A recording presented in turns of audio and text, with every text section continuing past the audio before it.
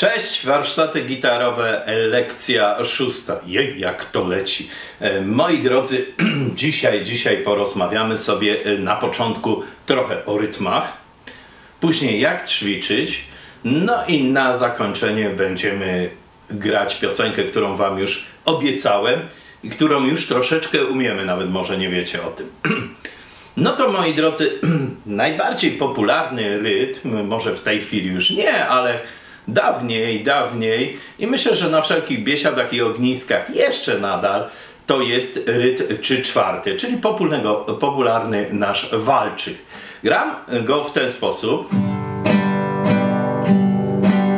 To jest taki wolny walc, bardziej pod jakiś angielski.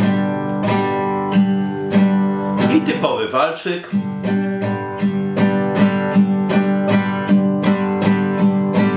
Cały czas gram na akordzie G-dur, żebyście głównie teraz myśleli o ręce prawej. Stop. O co w tym chodzi? Mianowicie ja gram tego walczyka w ten sposób i teraz może skieruję się do tej drugiej kamery. Przełożę gitarę zupełnie inaczej, żeby wam pokazać. Mianowicie od dołu kieruję rękę do góry.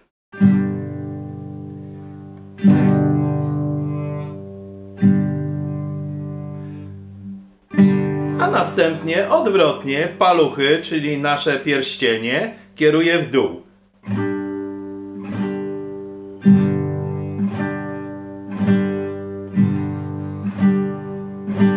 Walc ma to do siebie, że te większość rytmów, które do tej pory graliśmy, były rytmami czwórkowymi.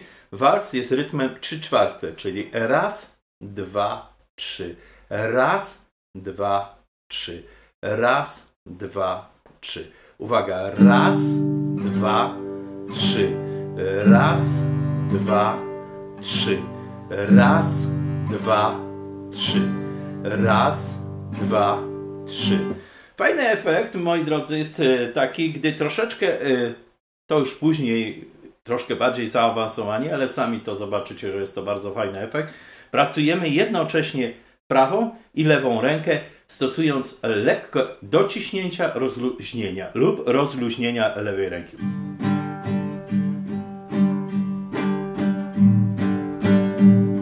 Ja tak, tak troszeczkę bardziej ekstremalnie pokazuję.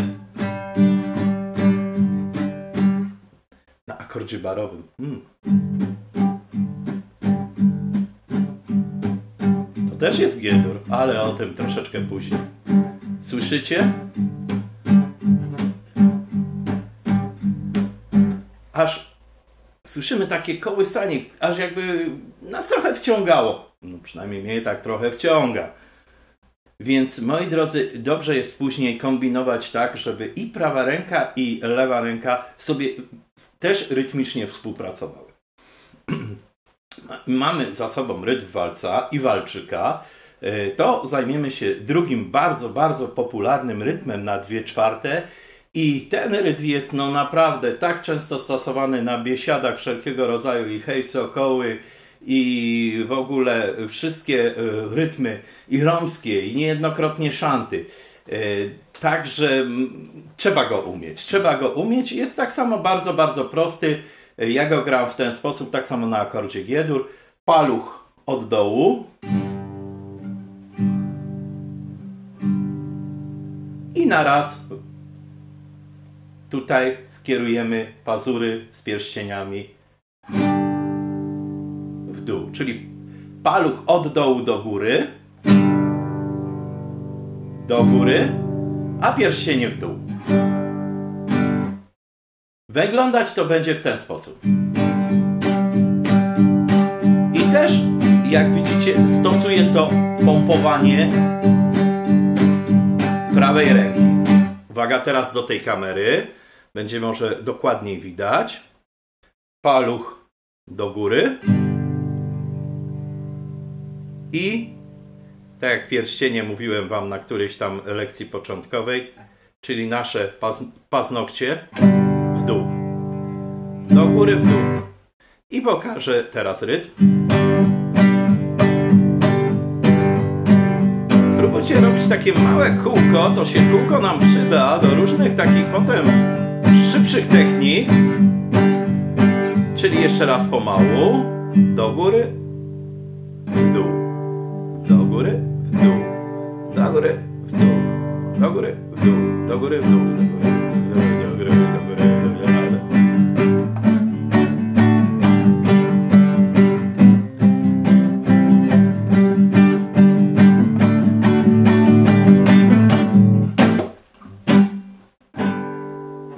Koniec podpisywania, moi drodzy. I teraz yy, rytm czwórkowy.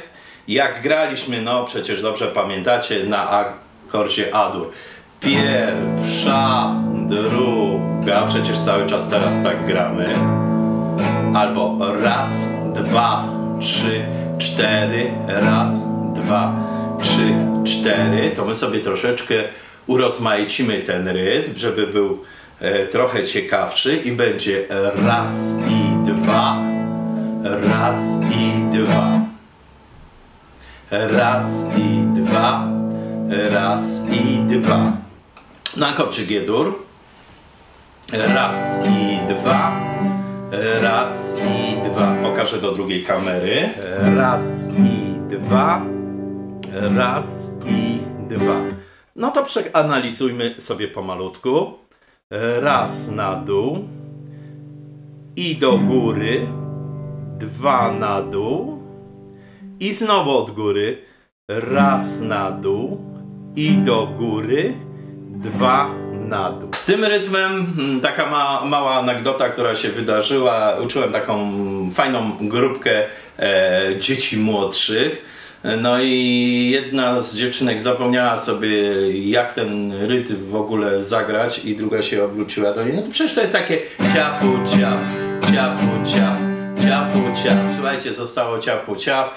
Choćby to były nawet osoby dorosłe, mówię im, jak, jak nie możecie zapamiętać, to pomyślcie sobie ciapu ciap, ciapu ciap, ciapu ciap.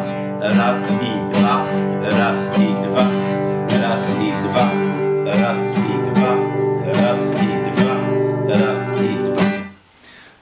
drodzy, e, teraz punkt drugi w lekcji szóstej, ćwiczenie. Na razie odkładamy, trzymamy, pamiętacie, cały czas te wszystkie sprawy, czy punkty podparcia i tak dalej. E, Trzymamy sobie gitarę, a ja Wam powiem o tym naszym ćwiczeniu. Więc e, ćwiczenie bardzo bym chciał, żeby polegało na tym, żebyście grali jak najczęściej, ale nie na zasadzie takiej, że no muszę, no muszę ten akord dziś wyćwiczyć, no i koniec, coś bym miał z tych paluchów popłynąć ta czerwona krew, to ja to wyćwiczę. Nie, nie, nie, nie, nie. E, Jeśli zaczyna nas coś boleć, e, a szczególnie tu opuszki paluszków, to jest bardzo ważna rzecz, ponieważ jak sobie je na bardzo wysilimy, to potem długi, długi czas nie będziemy mogli po prostu grać na gitarze, więc y, no wszystko z rozsądkiem. Gdy czujemy, że no jednak już jest dość, no to jest dość i odkładamy gitarę i, i zajmujemy się czymś zupełnie innym. Możemy za kilka godzin wziąć gitarę, a możemy również ten dzień sobie całkiem odpuścić. Ważne jest to, żebyście cały czas systematycznie ćwiczyli. E, ćwiczymy wszystkie akordy i rytmy na początku powoli, a następnie możemy sobie licząc, i to jest bardzo ważne, jak słyszycie, ja cały czas do Was liczę i tak samo wymagam od moich grup, abyśmy w czasie zajęć tych pierwszych głośno liczyli, bo wtedy myśl się po prostu e, uczymy e, dobrze obsadzić w tym rytmie, w którym gramy. I jak pracujemy w grupie, to wtedy e, ten nawyk jest taki, jakbyśmy już grali w jakimś zespole i ten rytm jest bardzo, bardzo ważny. E, No i nie zapomnijcie też o tym, żeby e, gitara po was nie wędrowała, czyli nie było czegoś takiego. Akord G-dur, akord G-dur, aha, tak. Ciap. Yy, to teraz, yy, a D-dur ma być, tak? No to tak, ciapu, ciap. E, co to tam miał? A, amol, amol. Ciapu, ciap. Ta ręka, ta ręka to jest wycieraczka. Wycieraczka, ta ręka. I ta ręka dopasujecie sobie takie tempo, może być bardzo wolne.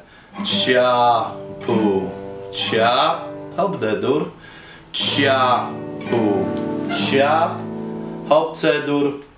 Cia, pu, cia. Ta ręka nie ma prawa nam zwolnić, przyspieszyć. Jeśli narzucimy jej rytm, oczywiście są utwory, w których przyspieszamy, są utwory, żeby zachować odpowiednią dynamikę i nastrój zwalniamy, ale to robimy świadomie. A nieświadomie nie możemy dopuszczać do tego, żeby e, nam rytm uciekał.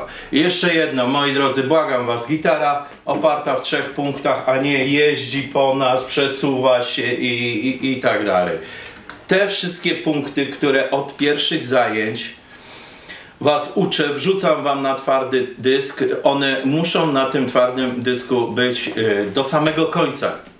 Nie ma, nie ma możliwości przenoszenia ich, kasowania i tak dalej. One już dla, dla Was, dla gitarzystów, tam zostają na wieki wieków. Amen. A teraz, moi drodzy, ta obiecana piosenka. E, ja może zaśpiewam w formie la la la, bo o to głównie też o to chodzi, żeby tutaj mimo moich czasem popisów nie robić z siebie jakiejś gwiazdy, ale głównie o to, żeby was nauczyć grać. No więc zaśpiewam w formie la la la. Mam nadzieję, że wy yy, sobie przypomnicie, co to jest. No to zaczynam. Raz i dwa rytm.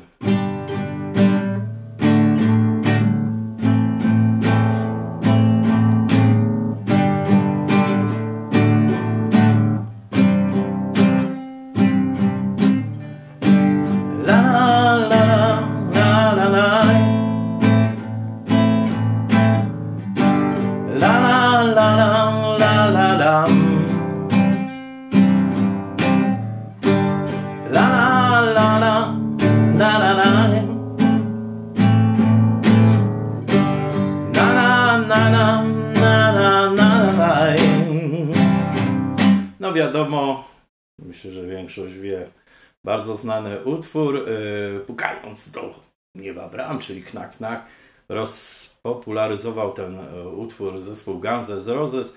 Yy, w wersji oryginalnej na pewno znajdziecie go na, w internecie. Dlaczego właśnie to? Dlaczego to? Bo jest raz, że znany, a dwa, też policzymy troszeczkę. Czyli raz i dwa G-dur, raz i dwa D-dur, i teraz dwa razy amol. Raz i dwa.